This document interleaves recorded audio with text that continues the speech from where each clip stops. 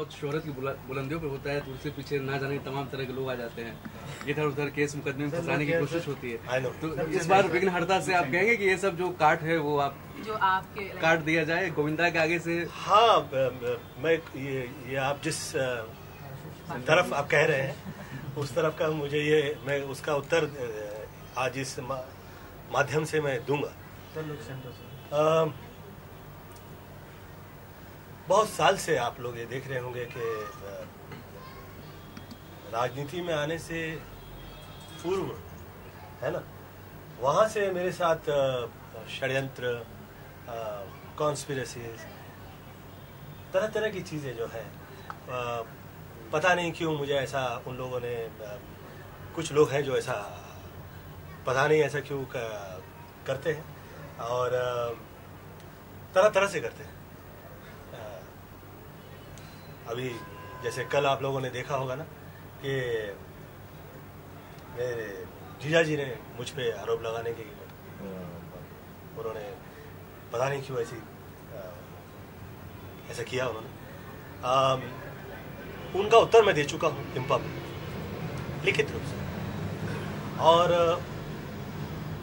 उनके उत्तर को जैसे ही उनको लगा कि उनके सवालों में ही दम नहीं है तो उन्होंने मुझे गलत तरीके से उन्होंने अ, जो मन में आया वो इधर उधर का कुछ अ, उन्होंने किया लेकिन वो हुआ नहीं। और उनको वहाँ से भेज दिया गया। उनको ऐसा लगा कि उनको वहाँ से भेज दिया कुछ है ही नहीं। अब क्या करेंगे? तो उन्होंने सोचा कि इनको इन पे फिर से कुछ केस चलाओ कुछ बनाओ। तो जो चीज़ नहीं है उसको ये क्रिएट करके जैसे कल अ, मैंने कहीं देखा वो कहीं थप्पड़ मार दिया था कोई लड़के बदतमीजी कर रहा था।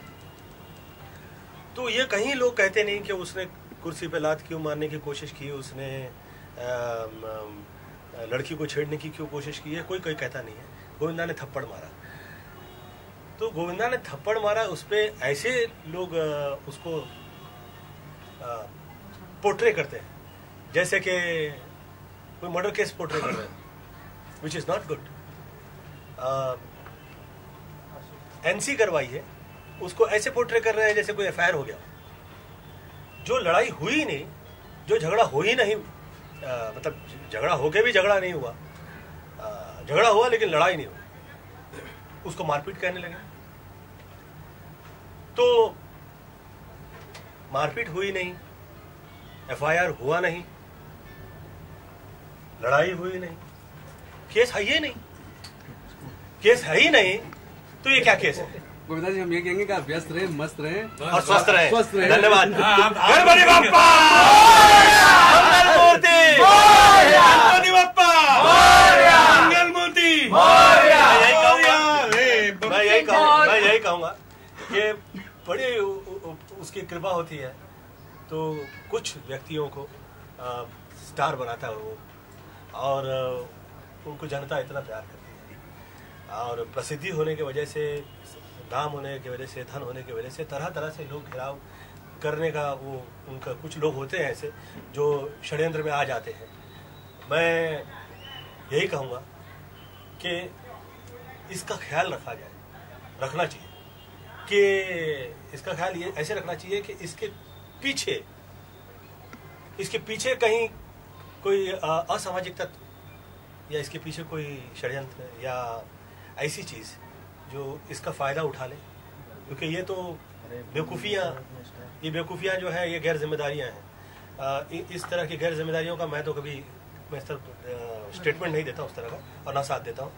लेकिन इसका कोई गलत फ़ायदा ना उठा ले। इसके लिए मैं आदरणीय कमिश्नर साहब से और सरकार से मैं विनती करूँगा कि इस पे ध्यान दें और इस पे ध्यान देकर इसका कोई गलत फ़ायदा ना उठा पाए। उसका ख्याल करें। धन्यवाद। Thank you thank you Ganpati Bappa.